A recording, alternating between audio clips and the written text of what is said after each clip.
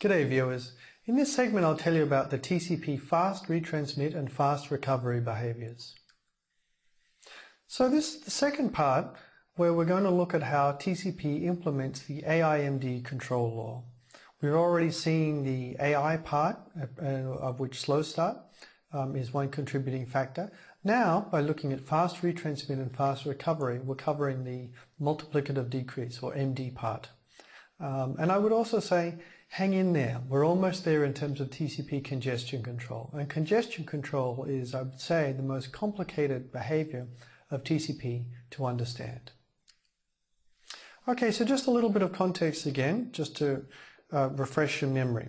We're trying to get to this additive increase multiplicative decrease controller. It has good properties.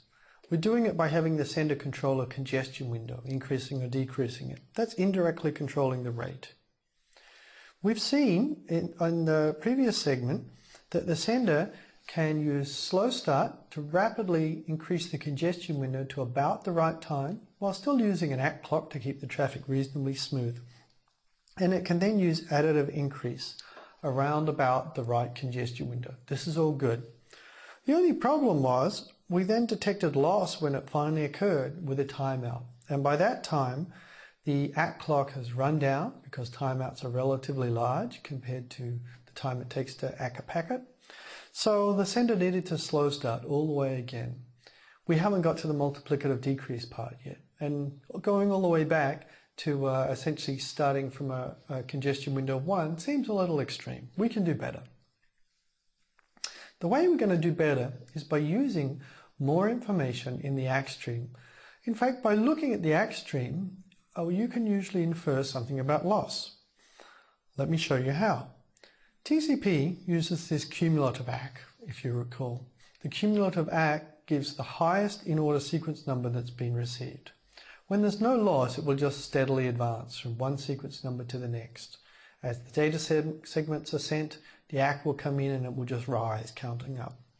When there's loss, the, there'll be a hole in the sequence numbers at the receiver side and the cumulative ACK will get stuck at some value. The ACKs will then repeat the highest in order sequence number that's been received. These ACKs are called duplicate ACKs because they're sending the same number over and over again. And if you think about it, these ACKs actually give us hints about what has arrived, or rather what data, data hasn't arrived. So they tell us every time we get an ACK, we know that some new data arrived, but we know that it wasn't the next segment, because if it was, the cumulative ACK number would have risen. So there's a good chance that, in fact, it is the next segment just beyond the one that's been acknowledged that has been lost. The fast retransmit heuristic uses this sort of uh, inference to work out that a packet has been lost, which packet, and to retransmit it. So in particular, when the TCP uh, sender receives three duplicate ACKs, it treats this as a loss event. It says, aha, loss has happened in the network, and it will immediately retransmit the next expected segment beyond the ACK value in the cumulative ACK because it thinks that's the one that's been lost. Three sounds a little arbitrary. Why three duplicate ACKs, not two or four or something? Well, some small number like this, and three is just a small number, allows a little bit of tolerance for packet reordering that could occasionally happen in the internet. This will cause duplicate ACKs also. Um, yet it still detects any loss which actually occurs quickly. We can see the heuristic working here. You can see the ACK stream coming in. One, two, three, four, five. Now we get duplicates. Here's a duplicate, first duplicate, five. Well, so uh, a packet arrived on the other side, but it wasn't six, or this ACK would have gone up again. Five, still haven't got six. Five, still haven't got six. That was, this was the third duplicate ACK. I'm going to circle this because right here we would resend six. Right, we'll assume that that has been lost. And you'll note that after that, we're still receiving duplicate ACKs because even though we've sent six, it's going to take a little while for 6 to reach the other side and the cumulative ACK to advance and us to hear back a bigger cumulative ACK. We can see some of those effects on the time sequence diagram here. We have again the sender on the left and the receiver on the right. Now, ACKs have been sent merrily. Also, um, let me see. So these, this text is actually showing the receipt of information. Okay, so the sender and receiver labels are important. So in fact, this coming in is ACK 10. And you can see the ACKs are going up normally as they come.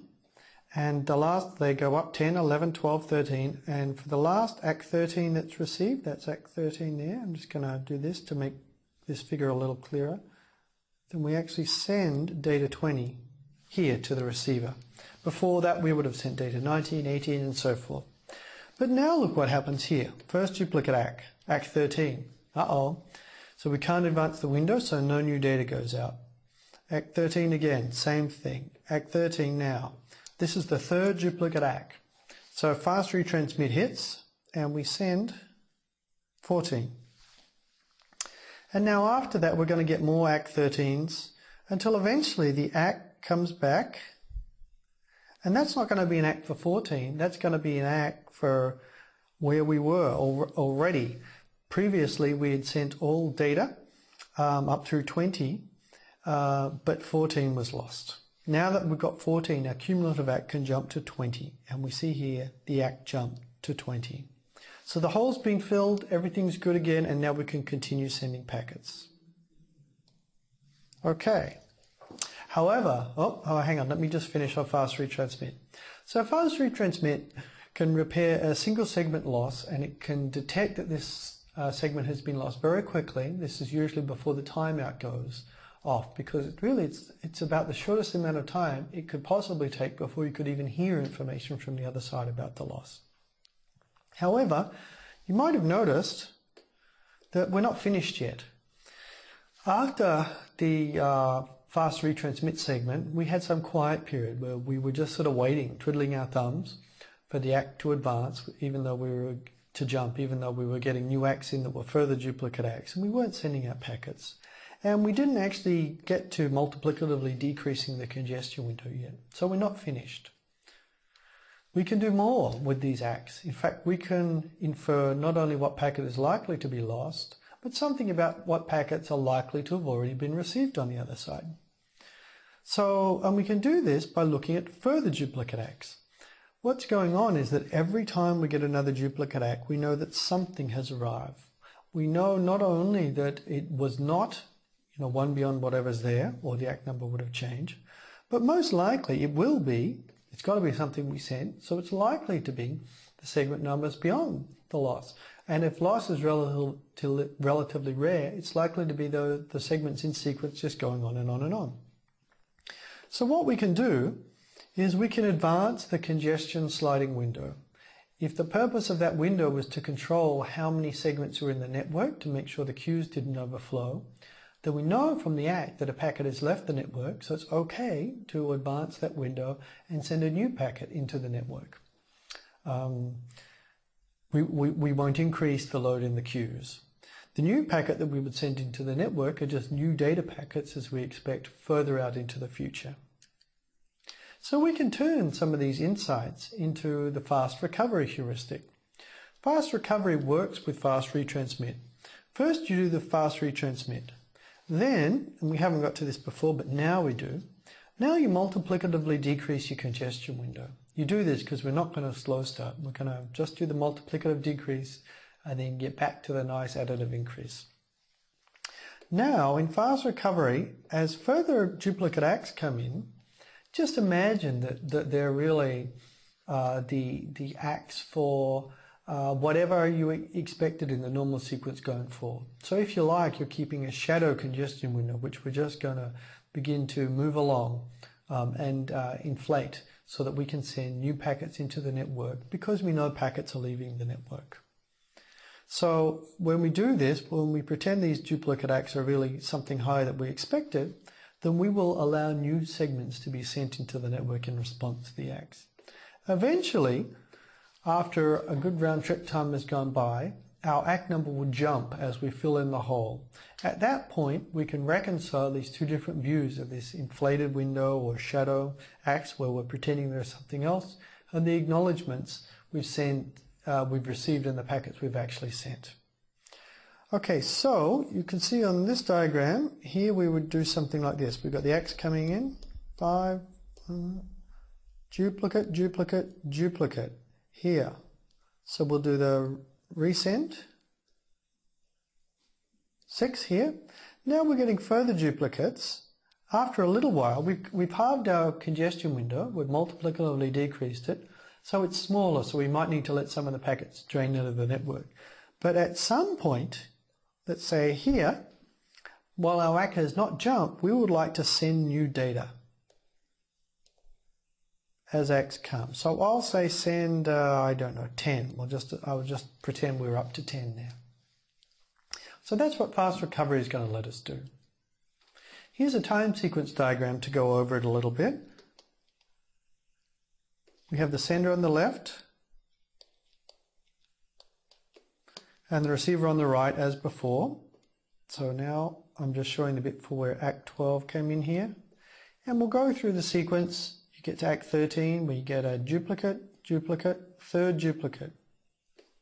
At this point, we'll do several things. We'll do the fast retransmit. That's the data 14. That's to fill in the hole on the other side. And we'll now set uh, our SS thresh and to uh, the congestion window over 2 and we'll also change the congestion window to the congestion window over 2. So we'll multiplicatively decrease the congestion window. Now because it's smaller some other packets may need to, need to leave the network but with fast recovery eventually as we get another duplicate ACK in we will send packets out here. Here so more ACKs advance the window and you can send new segments before the ACK jumps. Sometime later down here the ACK jumps, and at that stage we can exit fast recovery. We know what's over the other side, we know what's sent, we can make sure that our congestion window is okay.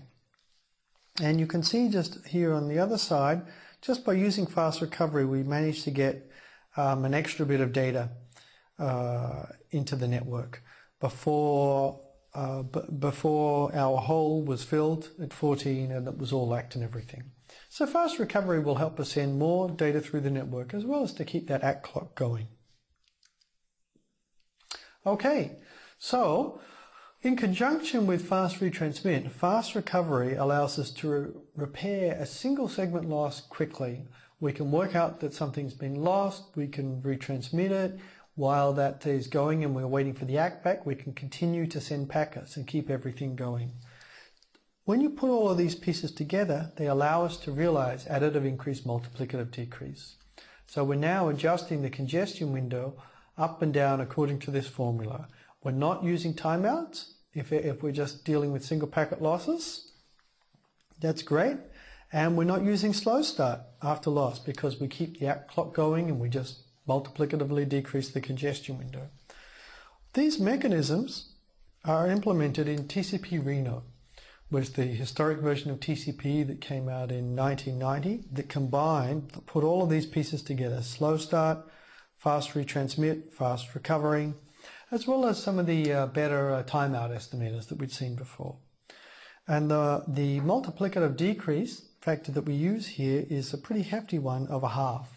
So we halve the congestion window on a loss event. This will sort of allow, even if there are two flows, a new flows come in, it will sort of allow two flows to quickly each get half of the bandwidth. So it will accommodate fairly large changes at one go. When you put all of those mechanisms together, here's how the congestion window goes over time. It goes up with slow start. We cross the slow start threshold and we're in a nice additive increase. That's what we wanted. Now when there's loss, we're going to go down and do a multiplicative decrease we would find loss quickly and we would maybe go down immediately. We halved our congestion window, so we had to wait for a few ACKs to exit the network. Then we're back to our additive increase. Eventually you'll get too high, halve again, and so forth. And this is the TCP sawtooth that we're following. We've kept the ACK clock running all the way through these loss events uh, without doing any version of slow start. And this is the behavior that classic TCP produces. You can see here it's actually driving the network into congestion, filling up the queues, and then recovering gracefully. So it sort of has to probe the boundary of congestion uh, to find out just how much bandwidth there was in the network. Now we're going to stop there for understanding congestion control. We've seen how classic TCP congestion control has been implemented. Modern congestion control goes beyond it. in, uh, in many small respects. I'm just going to briefly mention some of them. So we've got to Reno. TCP Reno can repair one loss per round trip time using its mechanisms. If you were unfortunate enough to have multiple losses per round trip time, you would end up needing a timeout to recover from them. Then we'd have to start again with slow start because we've timed out and our clock is broken and so forth. A common version of TCP that's deployed in the internet today, perhaps the most popular, is a classic style mechanism, is TCP New Reno. That's Reno with further heuristics that allow it to repair multiple losses in one round trip time without a timeout. So it's still using inference, but it's doing a slightly better job, and it can often do a little better in terms of repairing things. But one step beyond that, that's an even better idea, is something called SACK, TCP with selective acknowledgements. We actually looked at the selective acknowledgement option earlier, as well as the cumulative ACK. They add information about the byte ranges you've got. Once you've got these ACK ranges, there are ranges of bytes that have been received that are carried in the acknowledgements from the receiver. The sender no longer needs to guess which packets may or may not have got there. The receiver is telling it. So this is uh, much uh, cleaner and more straightforward in terms of trying to work out what might be lost and retransmitting it. You can, uh, you can retransmit without the guesswork. So SACK is the option that is increasingly used in modern TCP. It's simply a matter of deploying it and turning it on. So now we know how TCP congestion control works in routers that uh, lose packets.